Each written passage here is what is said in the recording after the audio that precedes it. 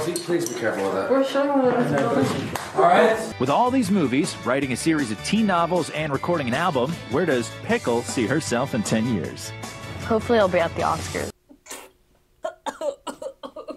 I mean, who knows, right? The Oscars are a joke at this point, anyway. Casually glances at my La La Land poster out of frame. This is a video, believe it or not, that I've wanted to make for a long time because there is a film in existence called Keep Watching, starring Pre Tana Bella Thorne. If you've never heard of this movie, then Lucky you. But I wouldn't be surprised because this is a 2017 horror movie that never got a theatrical release. Well, technically, that's not true. It did get a theatrical release for one day. I'm not kidding. One night. And then it was cast into VOD oblivion, never to be marketed again. So, why am I talking about it? Well, because this is the God's honest truth. I've been anticipating this movie for years, since before it was released. And in similar vein to another movie that I reviewed recently, Keep Watching was filmed in 2013, when at the time I was very eagerly following its production details. Look, I have a confession to make. I, Audrie Greywind, at age 13, was in love with a certain member of a TV show called The Walking Dead. Was it Daryl or Shane or Glenn, I hear you asking? No. It was Carl, played by Chandler Riggs. Full disclosure, Chandler Riggs and I are the same age. And I was in love with that moody, slightly emo phase of Carl. Like after his prepubescence, but before you could mistake him for a girl. Right around the time he ate the pudding. And as a fangirl, naturally, I kept up with everything that he was involved in. Hence, Keep Watching. Keep Watching is a found footage movie. I'm kidding but I'm sure you can see where this is going. The premise centers on an isolated family who are attacked by masked intruders and are subjected to video surveillance of the house being broadcasted to people tuning in. Formerly known as Home Invasion back when it was being filmed, but they changed the title upon 2017 release. I did some research and found that there was actually a film in 2016 called Home Invasion that was released, and that was probably the reason for the name switch. And this movie centers on an isolated family who are attacked by masked intruders and are are subjected to video surveillance of the hat weight. I'm not trying to imply that anyone ripped anyone off, but honestly, let me know if you want me to make a video about this movie because it looks. Interesting. Anyways, if you couldn't tell, I eventually lost interest in my zombie crush and completely forgot about the movie. But recently it popped into my head fucking tumor. So naturally, I had to watch it. And I also recorded my reaction to the movie, so you'll be graced with that throughout the video. Jumping right into the fuckery, I would like to mention that there is not a version of this movie that exists in high quality. And I purchased this movie on YouTube and the highest resolution available was 480p. Immediately we're introduced to the antagonist, who, to reiterate the plot of the movie, hide a fuck ton of cameras in a certain family's house while said family is away. And then they live stream the home invasion to people online. They preemptively stalk the family beforehand, and in this case, they focus their attention on Bella Thorne. I'm obviously not going to be referring to everyone by their character names from the movie, so let's just get the cast out of the way now. We have Jamie, who I'll just be calling Bella her younger brother, DJ, who I'll be referring to as Carl, because he's literally dressed exactly like his character from The Walking Dead in this. Their stepmother, who. I, can't remember her name. I've seen this movie several times now. My initial reaction. Whoops, did I accidentally click on Bella Thorne's OnlyFans account? Another time writing the script, and another another time where I was paying extremely close attention the entire way through which I'll get into later. And I legit cannot remember her name. I'll just be referring to her as Boobs because that's pretty much the only reason she's in the movie is just to have boobs. I'm not being perverted, okay? Look at the thumbnail for the trailer. Boobs. And then the dad, whose character name is Carl. which is really funny. But for obvious reasons, I'll just be referring to him as Reed Richards. There's also a weird uncle character, but he's not important and dies immediately, so. Right away, we're shown the completely fucked physics of the cameras in the movie. Bella Thorne walks into a therapy session and. Are you feeling scared? No. Wait, how can we hear what she's saying? Is the room bugged? How did they do that? Is this plain ass hoe really so important that you risk being caught before the actual invasion just to hear about her mommy issues? Cockroaches, and they're just. They're just eating away at her. Then the family leaves for vacation, The intruders prepare the house full of cameras and the show begins. Look, this next part of the video is just going to be me pointing out the insane physics of these cameras, specifically the placement of them. Otherwise, it would just be me doing that throughout the entire video. So, without further ado, No. No. No. What? The ceiling fan? What was the point? Okay, you can clearly see this angled shot of her, and, in the next shot is there's no camera there. There's no fucking camera. We've seen what these cameras look like. They aren't fucking invisible. My god, just put a picture frame there. Do something. No, just the drawing? Fucking really? Not standing in front of it? Standing in front of it. What are you gonna see from this angle?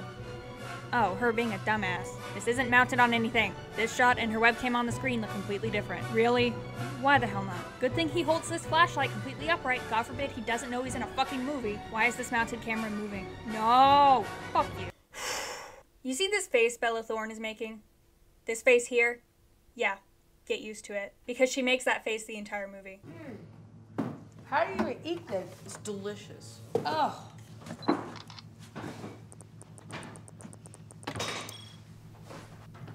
Smells good. So Bella starts complaining about her wallpaper or something. Uh, what happened to the wallpaper in my room? Just feeling it out. I don't remember anybody ever having a problem with my wallpaper before. Then complains to her boyfriend. I've left you like a thousand messages. Then complains to her brother. DJ! DJ!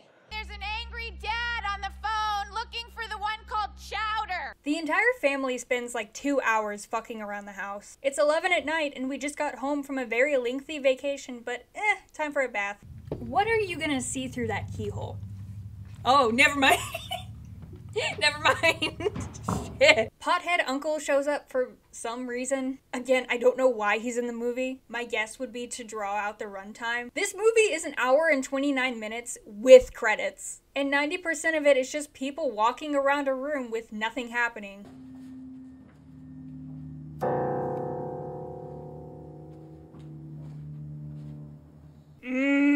Look, I get that I've already gone over how the physics of the cameras don't make sense, but this is the first instance of many of the intruders just doing the impossible. Did they hack the piano?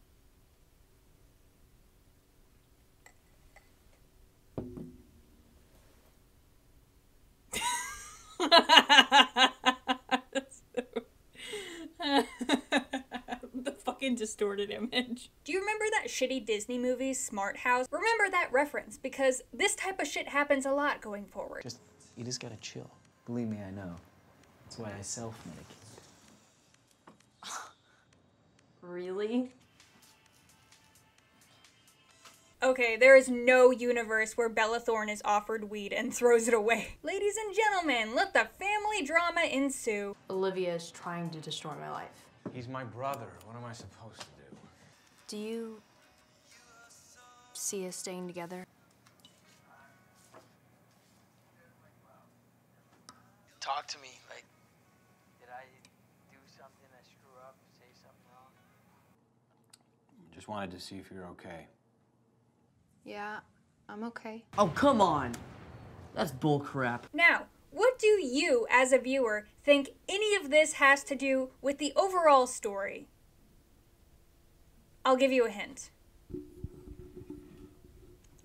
Nothing. Anyways, the family goes to sleep finally. Except for the pothead uncle, who goes outside to investigate a noise. Because that's something regular people do, right? Is that a cow? Like, I live on a farm, you guys. I know what cows sound like. And for a second, I actually took off my headphones and looked out my window because I thought it was a cow. Bull crap. Also, the intruders had no way of knowing that the uncle was gonna be there. He just showed up, and somehow they already had a death planned for him.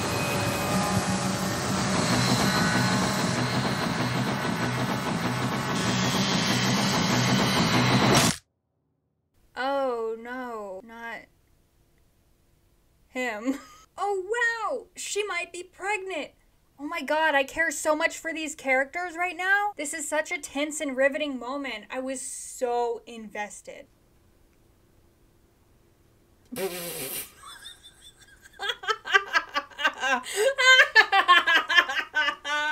shot's really funny. The intruders somehow managed to very loudly bar up every entrance to this massive house before anyone wakes up, and when they do, they put a camera in his headphones. His fucking Call of Duty headset.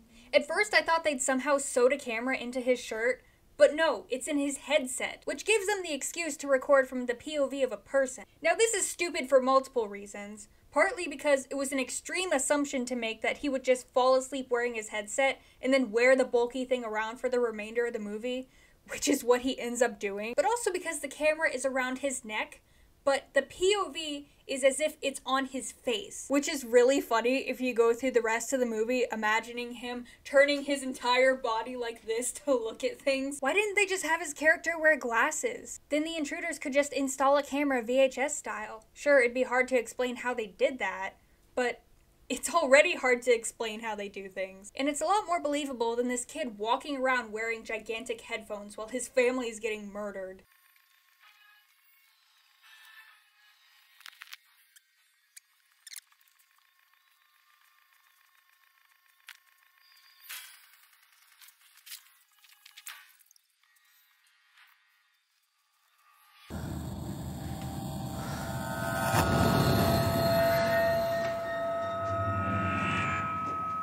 I would just like to point out that this moment right here is the halfway point of the movie. You could literally skip the first 40 minutes of this 80 minute movie and you would not miss a thing. Callie! I am so completely invested in the character who is dying right now. Get off of him! Better stretch out that runtime a little more. 80 minutes isn't gonna make itself. Hey Bella, you wanna make an actual facial expression during this movie? No? Okay. What is that? What the actual fuck? Remember the Smart House reference I made? These motherfuckers even hacked the lamp to make things extra spoopy. It's ridiculous. It's like Jamie? like she's a total gold digger. watching me. Oh, and the grossest part is, I think my little brother has like a crush on her. What the hell is that? Okay, did they sneak into her locker room to do this? What a wild coincidence that she happened to be talking shit about her entire family on the phone in front of an open locker at this very moment. Is that you? Oh what is that? What's what? I hear something. It's okay. Shh. Keep calm. Do you hear that? What is that? I hear something. Just stay together. what? Watching us. My cell phone. Okay, so she's going to get her cell phone that she clearly hears vibrating. Then they get distracted by a taser that the intruders left because part of the show is giving the family weapons to fight back. Still making the same face though. Kill or be killed. They want us to fight back. Wow, that's crazy. Hey, do you want to keep looking for your cell phone? Just stay close, right? Wait, wait, what, what about her cell phone? They completely forgot about the cell phone after 30 seconds. They're just leaving the room without it. Why are you so stupid?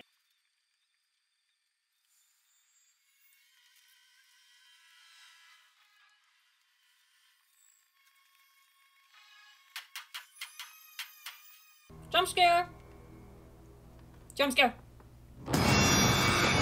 Fucking do it! So they lock themselves in the basement, and yay, the police are there. Downstairs in the basement! This is the police. We've received reports of a disturbance and we're searching. Except no, because these people are fucking morons and somehow don't realize that it's coming from a very small speaker in the ceiling. They're screwing with us. No shit. We're all gonna die. I fucking hope so. Oh yeah, and Bella's boyfriend shows up completely unprompted and dies like two minutes after. Feel comfortable skipping that one. So Boobs decides to crawl out of the basement and look for help. Listen to me. All right? I want you to be strong for me. So much for staying together, I guess. That's a great idea. Turn on the spotlights. That won't alert anyone to your location at all. You're trying to hide, right? Hey, look, the uncle's still alive. Oh.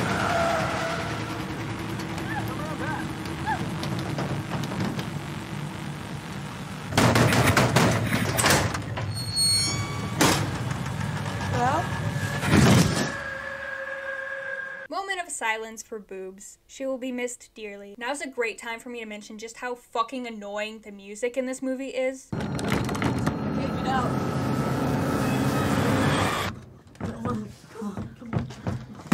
Jamie! I can't.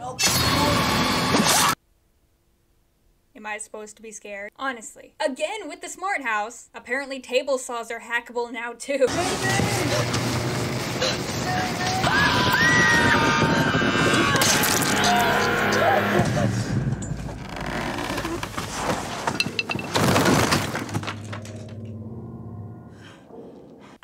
you just caught that, but this giant toothpick completely incapacitated this person in two seconds.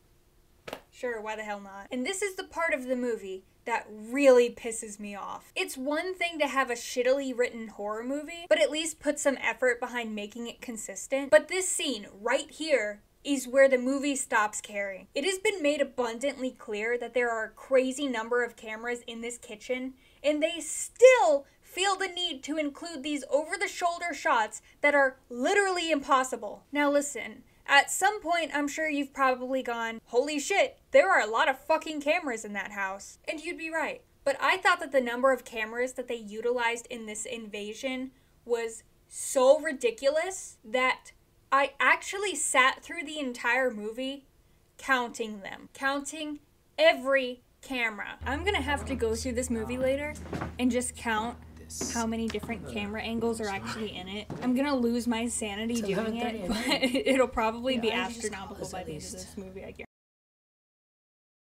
I wanted to see what kind of numbers we were working with. And ladies and gentlemen, after sitting through 80 minutes of bullshit for the third time and doing my damnedest not to count the same camera angle twice, there are 285 cameras. 285. God, I should really get into the business of murdering people on the internet. They must be making bank to pay for all of this. This next scene is the most dramatic thing I've ever seen in my life. Please enjoy.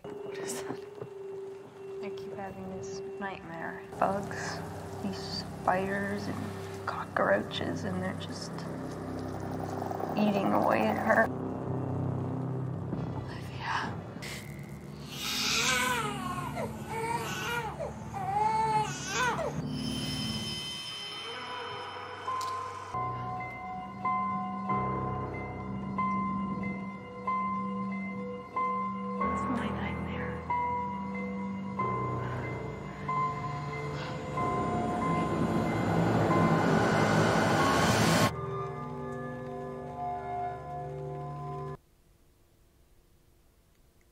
I can picture it. The screenwriter writing that scene of the screenplay and then jizzing all over his keyboard. Now, I actually like this next scene because we're finally introduced to the only characters in the movie that I gave a shit about. See if you can spot them.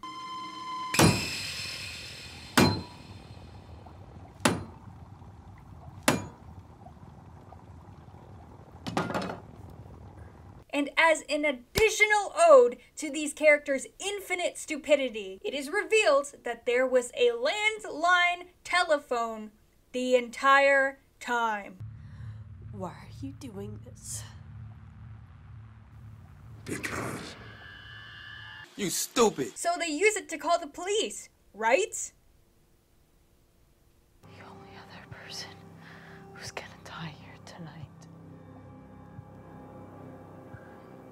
Is him. You do you want to make a different face when you say that? You've been making the same face for the past 80 minutes. Hopefully, I'll be at the Oscars. So Bella and Carl go to fight the remaining intruder, and why the fuck would you put that on? There is no way that that mask does not restrict your vision, which is a little important to have when you're about to knife fight a dude that's seven feet tall. Fun fact this is true. This intruder is actually played by this actor from We're the Millers. White gringo. With a haircut of a donkey. Uh, Just a fun thing to remember going forward. Okay, so now we're at the climax, and this is the point right here where the director, screenwriter, director of photography, and the editor all said, fuck it.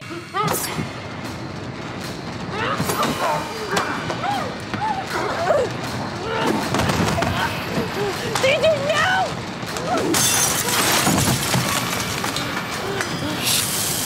Why was this a found footage movie? You're cutting the shots every half second. There was no reason for it to turn out like this. Who edited this movie? Christopher Cap? What other shit has this man? I think somebody Everything trying to set me up.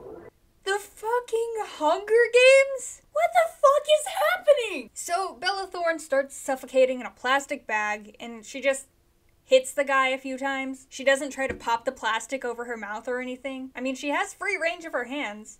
Maybe it's thick plastic, but it isn't worth living to fucking try. Help me. What? What? Motherfucker, was you gonna wait for me to turn into a butterfly?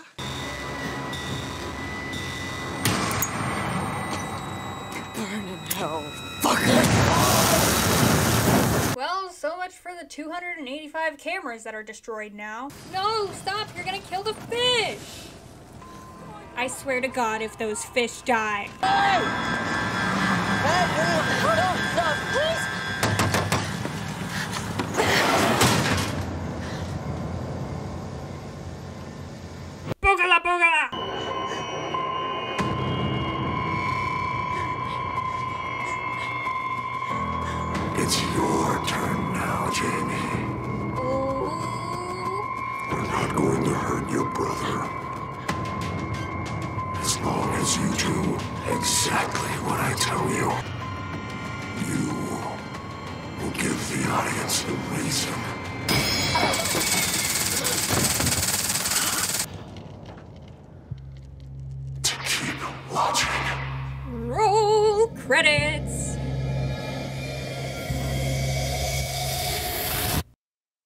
shit.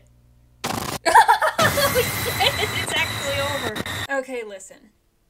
I'm not gonna say that this movie is horrible. Well, no, actually, I am gonna say that because it's horrible. But sometimes horrible can be funny. And I have to admit, I had so much fun during my initial reaction. Babe, what's going on? I'm I'm thinking of starting an OnlyFans. This is definitely the movie to watch if you enjoy trashy horror movies to just laugh at. But I have seen this movie multiple times now, and it's just exhausting. I just don't understand this movie at all. It's like they started production with an interesting premise. Family in a house. Intruder films their suffering for the internet. And it seems like they committed themselves to the premise at first, but at some point they just completely gave up. Someday horror directors are gonna realize that people don't give a shit about characters who are incompetent fucks. A good horror movie works when you can see yourself in the victim's shoes. You say, oh yeah, if I was in that situation, I would make those same decisions too. When you make everyone in your movie a dumbass, it's like you're calling the audience stupid. I guess there wasn't much to worry about with this movie though. With a 5 million budget, it brought in a whopping $94,000 on the one night that it showed. Rest in peace, my Chandler Riggs crush. I probably would have been a lot nicer to this movie when I was 14. But the moral the story is if you want to watch an ex Disney star be a total mess in a horrific setting, just go to Bella Thorne's Instagram account. It's way scarier than anything in this movie.